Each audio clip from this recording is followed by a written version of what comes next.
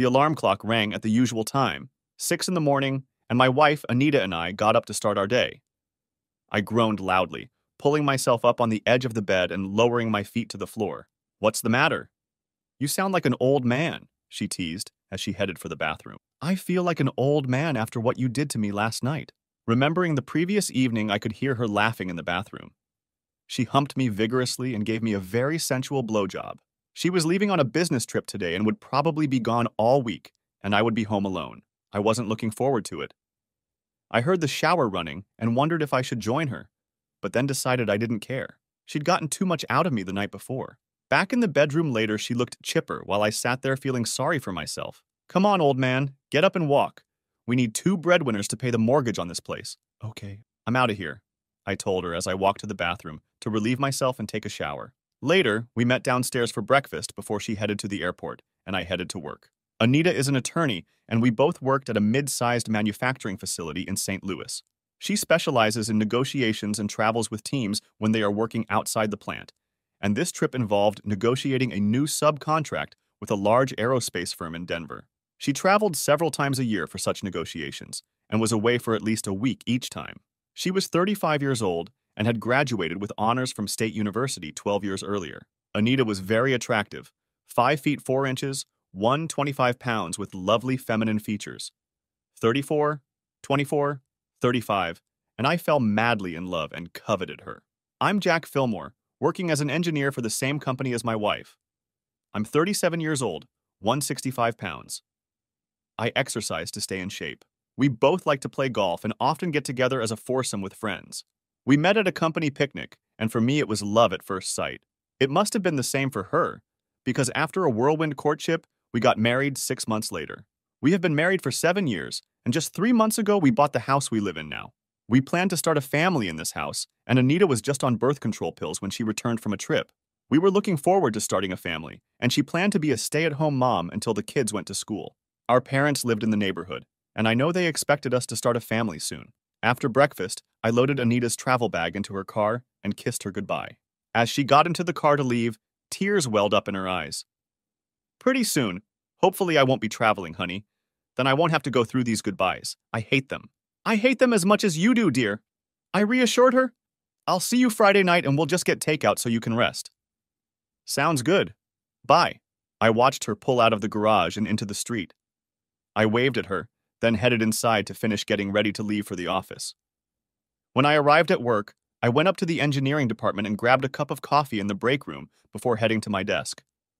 I had barely had a chance to sit down when the phone rang. Fillmore, I announced to whoever was calling. Jack, could you come into my office for a minute? Sure, Evan. I'll be right there. Evan was my boss, so I grabbed a coffee and headed to his office. When he entered, he waved me in and sat me down in a chair. Jack, I think you're going to like this. I remember you telling me last Friday that Anita would be traveling this week, so I have a little trip for you if you're interested. Gil Hawkins, our service engineer in California, is sick and can't deal with a problem a customer in San Jose is having with one of our models. You have more experience with this model than anyone else, so would you like to go to San Jose and check it out? Hi, we don't have much to do right now, and you're right. I'm running late this week, so when do you want to see me? Get Kathy right away to get the reservation and tickets, and you can call the client to let them know you're coming and find out what the problem is. That sounds good. I'll look into it. I was starting to feel a little more enthusiastic about life. I can come home, pack my bags, and fly out of here this afternoon and be at the customer's place in the morning. Okay. Have a safe trip.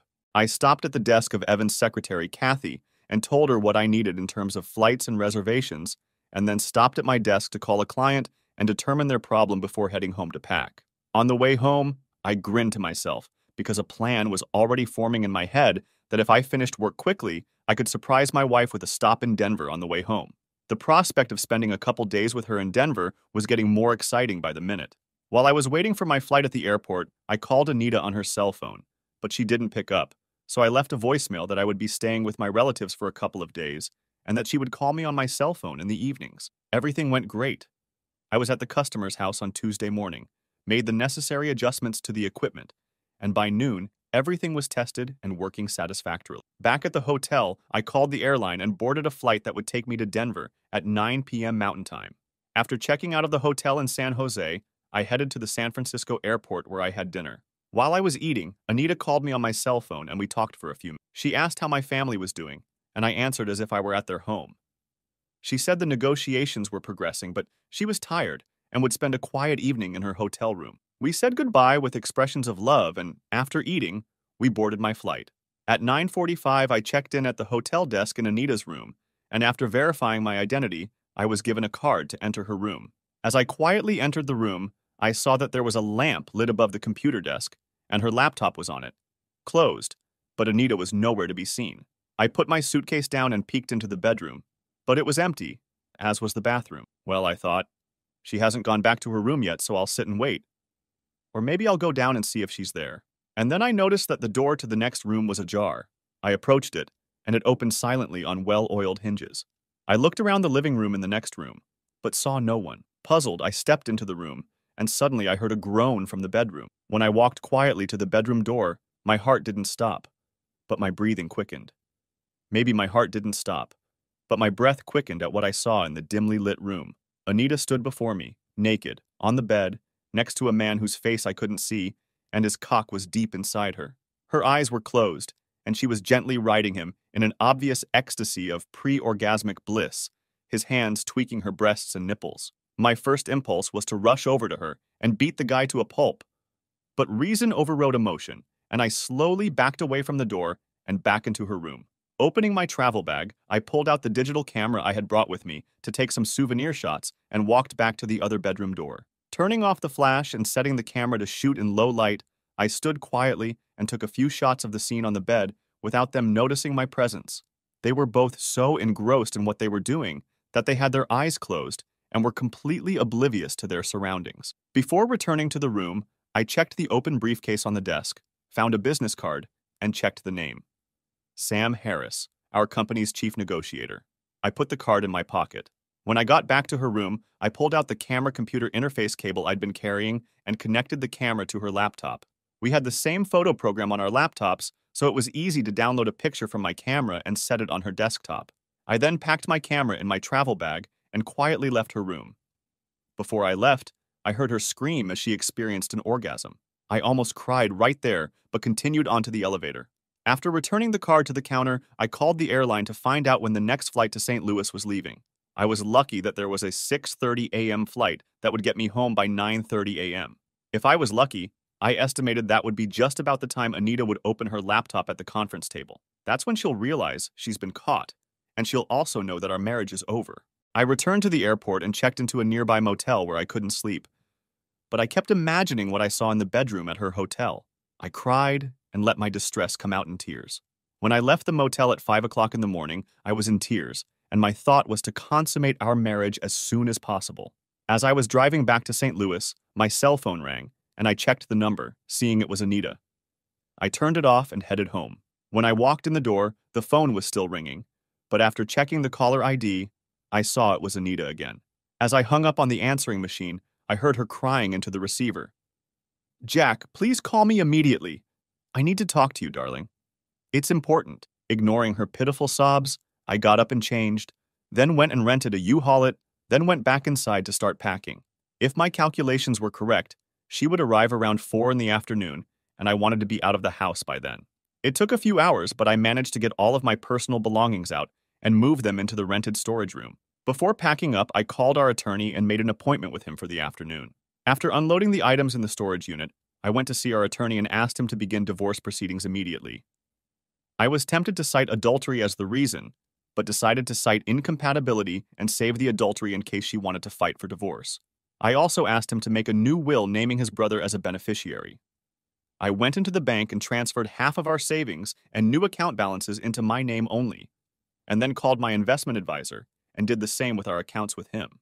With a sad heart, I reached my parents' house and taking my suitcase with me, I went up and walked through the open door. My mom saw me first and exclaimed loudly, Jack, where have you been? Anita called here several times looking for you. Did you tell her you were staying here? My father, who had already retired, came over and I sat down at the table and explained everything to them. They were shocked when I told them about Anita's infidelity and that our marriage had broken up. I asked if I could stay with them for a few days until I found an apartment with furniture, and they agreed. Apparently, my calculations were pretty accurate because around 6 in the evening, as we sat down to dinner, the doorbell rang. My father got up to answer it and returned a minute later with Anita behind him, looking very upset. Jack, why didn't you return my calls? I needed to talk to you. You moved all your stuff out of the house. I think the message I left on your desktop will tell you everything you need to know. Oh my god, I was so afraid it was you. Can we go somewhere and talk, honey? Please. Anita, I am no longer your lover, and I have nothing to talk to you about. I have already started divorce proceedings, and our attorneys can relay everything you need to know. What I saw in Denver has completely destroyed all my feelings for you, and I want you to leave so I can finish my dinner. Oh, please, Jack, no. Please don't do this without talking to me. What can you say that would atone for your infidelity? It certainly wasn't the rape I saw, and the pictures I have of it. You better call your lover Sam and tell him I'm going after him tomorrow. Maybe his wife will see things better than I do. Oh my god, can't we talk? Please, Jack. Please go, Anita.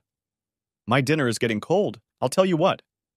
Why don't you write me a long letter telling me how you can justify breaking your wedding vows? I'm sure a smart lawyer like you can explain that it's all my fault and that you still love and respect me very much. With a sob, she turned away, but before she reached the door, she turned around. Please, Jack, don't end our marriage without talking to me. Goodbye, Anita. After she left, my parents still sat stunned. That was awfully cruel, Jack. Mom, do you want me to show you the pictures of her with her lover? That's what's cruel. She has absolutely no respect for me, and I can't live with that and will never be able to trust her again. Do you want me to give you grandchildren from a woman like that? I know, son, my father finally spoke. Maybe if things cool down a little, you'll be able to look at things differently. I knew my folks really liked Anita. I don't think so, Dad. Let's talk about something else so I can digest my food. All right, son. Anita. That Monday morning as I left the house, I was sorry I had to leave Jack behind, but I thought about how wonderful it would be when I returned and we could start our family. We had waited so long to make sure that financially and career wise we were ready to be parents. Now, everything was almost ready. The trip to Denver went without incident. I sat next to Sam Harris, our chief negotiator, and we talked a little about tomorrow's negotiations and then about what was going on in our families. He knew that when I got pregnant, I would be leaving my job, and he said he would miss me. Sam was 48 years old, married for 20 years, two kids in high school. Sam and I had been on the same negotiating team since before I was married, and we were very comfortable with each other. The other two members of our team sat behind us and had their own conversations. When we got to the hotel in Denver, we checked into our rooms, and as usual, Sam and I got adjoining rooms. This was originally done to facilitate late night meetings about negotiating intricacies. But about 10 years ago, sex was initiated, and we convinced ourselves that it was a way to relieve stress after a hard day of negotiations. At the time, we told ourselves it wasn't cheating on our wife if it helped us work. Sometimes we laughed about it. Then, after Jack and I got married, for several years I didn't feel up to it, so we stopped doing it. Finally, during a particularly grueling negotiation, Sam asked if we could do it again to relieve stress and anxiety. I reluctantly agreed, and before I knew it, I was engaging in this activity with him again.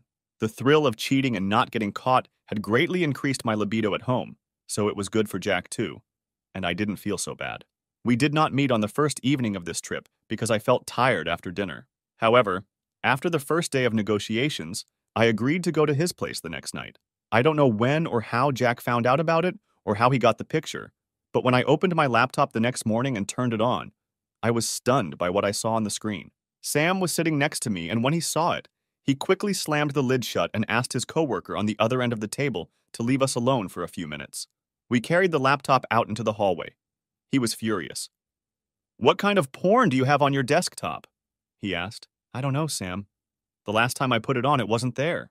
I was still in shock. Let me look at it again. I opened it again, and we looked at the picture together. Oh shit, it's you, he exclaimed. Aya, how can it be me? I don't know, but it's you. And underneath you, it's probably me, though you can't see my face. Did you leave your laptop unattended yesterday? No, he was with me during the trip and in my room while I was in yours. Could someone have gotten into your room with a camera? I don't think so. The door was closed, and I suppose locked. You need to go back to the hotel and try to find out if anyone was given a card to your room last night. I'll handle everything here. Try to contact Jack and find out where he was last night. It couldn't have been him. I talked to him last night at his folks' house. Did you call his parents' cell phone? No, he asked me to call his cell phone. Oh, oh, I don't like the sound of that. He could have been anywhere when you talked to him. Call me on my cell phone if you hear anything. Do what you can to undo the damage. Take a cab to the hotel. Okay, bye. I broke into a sweat. If Jack had taken the picture and put it in my laptop, I had to think it was a message that our marriage was over. I had to go back to the hotel and see what I could find out. The girl at the front desk called me a cab, and 15 minutes later, I was at the hotel, first checking at the desk to see if anyone had gotten a card for my room. The clerk checked the computer, and I was informed that Mr. Jack Fillmore had been issued a card at 9:45 the previous evening. The card was returned a half hour later. It was then that I realized that my marriage was probably over. The man I loved more than anything in the world was gone, but I had to fight to get him back. Once I got up to my room, I immediately tried to call his cell phone and his work. His cell phone didn't answer. It was turned off, but I left a voice message that it was important for him to call me as soon as possible. His secretary at work informed me that he was away on company business in California and should be back tomorrow. That was it. He left for California and stopped on the way back to surprise me. I think we were both surprised. After calling his folks, they said they hadn't seen him in a few days. I asked them to ask him to ask him to call me as soon as they could reach him. I called home and got no answer, but left a message there as well. I sat in the room and cried. I didn't have a chance to talk to him unless I went home, so I picked up the phone and booked tickets to get back to St. Louis on the next flight. After packing, I called Sam on his cell phone and told him what I had found out. He was quiet for a minute before he spoke. Anita, I think we're both facing divorce or worse. What could be worse than divorce? The company where we work has a policy against executive level employees fraternizing. We could both be fired. It wouldn't look good in our reports. Oh my god, I should have known that. But as far as I'm concerned, losing Jack would have been much worse. Losing your family would be bad too. But you need to go back to St. Louis and find Jack. Maybe he'll listen to reason. I've already booked tickets for a flight that leaves at noon. I have to be back there by 4:30. For my own sake, I have to find him and talk to him. I'll let you know how it goes. I'll have to stay here until the negotiations are over. I'll be waiting to hear from you. We said goodbye and hung up. Grabbing my bag and laptop, I hurried to the lobby, checked out, and took the hotel limo to the airport. All the way to St. Louis, I prayed that Jack would talk to me. I had to explain that it was just sex, and it didn't affect him in any way. I had to put everything on the line so that he would be unemotional about my infidelity and accept it for what it was just meaningless sex. When I got home, I didn't notice anything unusual at first. But when I went into our bedroom and saw that all his clothes and personal belongings were gone, I realized that he knew everything and had left me. I had to find him. After many fruitless phone calls, I finally decided to go to his family to see if he was there or if they had any idea where he was. He was at his in laws, and his reception made me sick with insensitive cruelty. He informed me that he was in the process of filing for divorce and did not want to talk to me, that there was nothing I could say that would change his mind. After he sarcastically told me to write him a long letter explaining my position, I left, got in my car, and cried. The family we had planned would never happen. We will never grow old together and enjoy grandchildren together. For selfish reasons, I was even more distressed at the thought that by the time I found another husband, I would be too old to conceive a child. Finally, I started the car and drove back to our empty house. After an incoherent dream, during which I kept seeing Anita and Sam in bed together, I got up early, went down the stairs to my folks' house, and put on coffee. Then I grabbed my laptop and camera and started downloading the pictures from the camera into the computer. I thought about the fact that I would have to see if I could somehow recognize Sam in the pictures. Looking at the pictures, I couldn't make out Sam's face clearly. But then I noticed something on his right arm that was reaching for Anita's chest. Blowing on the spot, I saw what I needed.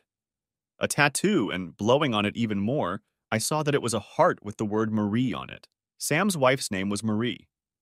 That was all I needed, so I went back upstairs, showered, and got ready for work. When I got downstairs, my mom was already up and making breakfast. Later at work, I burned a couple CDs of Sam's photos and tattoo. I also printed out a couple sets and put them in a folder. Then I went to our HR department and asked to meet with the manager. After all, Phil and I knew each other. It wasn't that big a company, and we played golf together. I pulled some photos out of the folder and laid them out in front of him. What are those, Jack? Pornographic pictures? He asked with a smirk. Sorry, Phil. They may look pornographic, but these are my wife and Sam Harris, and you can tell by the date and time on them that they were taken Tuesday night in Sam's hotel room in Denver. They were there in negotiations with the company. Oh, damn, Jack, I'm sorry. What can I do? You can fire them both for cause under the anti-paternity clause in their contract with the company. We've never applied this before. Are you sure you want to do this? It'll bring the affair out in the open. I assume that means you're going to divorce Anita over this? I've already instructed my attorney to prepare the papers, but if you don't pursue this matter, I will file a lawsuit against the company. All right, Jack. I'll get this to our legal department and get started. I then went in to see my boss, Evan, to let him know what was going on in my life. He was appropriately horrified that I had told him about my wife and Sam Harris. When I asked for the rest of the week off as a vacation, he readily agreed. In parting, he congratulated me on a job well done on my trip to California. The customer called and complimented me on how quickly I solved their problem and got their production line working again. He also asked if I would consider taking over the territory in California since the current field engineer was retiring for health reasons.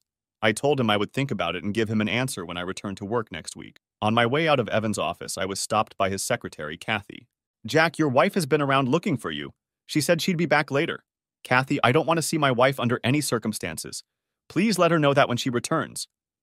Oh my god, Jack, I'm so sorry. I didn't realize there was a problem. There's a big problem, Kat. We're getting a divorce. She and Sam Harris are dancing the horizontal tango.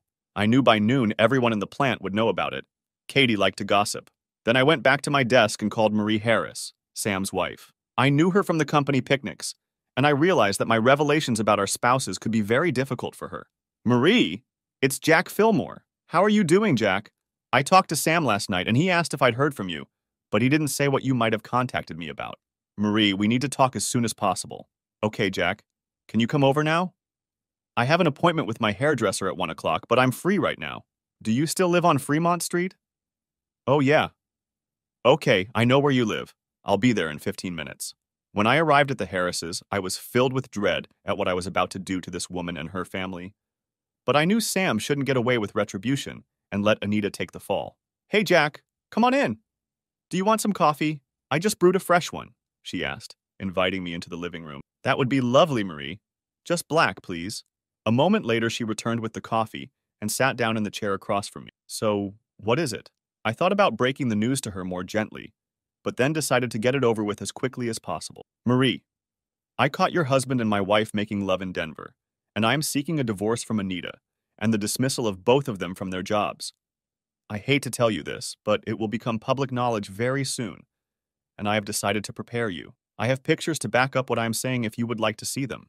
I watched her face to determine how my words had worked and was surprised at the lack of any real reaction. Jack, I guess I've suspected for a long time that he was flirting with the company, but I hoped it wasn't true. Sam has always been a loving husband and father, and I didn't want to rock the boat, but I realized that someday something would happen and their affair would become public. I guess it did. I'm sorry for you and your marriage, and from my perspective, I'm sorry that Sam might get fired.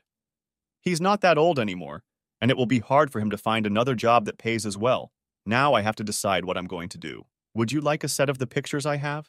Yes. Leave them, and I'll try to find the strength to look at them. I'm sorry, Marie, but I just couldn't let that happen.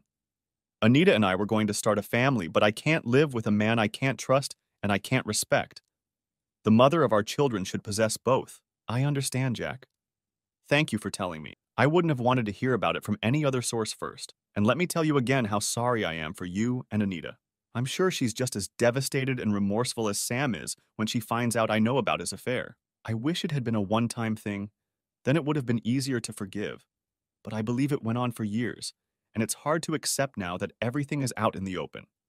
I have my pride, and I should be able to keep my cool. If there's anything I can do to help, let me know, I told her, leaving and heading back to my parents' house. Epilogue It's been six months since I initiated divorce proceeding. This morning I received a copy of the divorce agreement with Anita. I have not spoken to her or seen her again since she arrived at my parents' house. Everything was handled by my attorney, I gave her the mortgaged house with furniture and furnishings with large sums of money on it, so that she would waive all claims against me. I also took my name off the mortgage. She took full responsibility for the payments.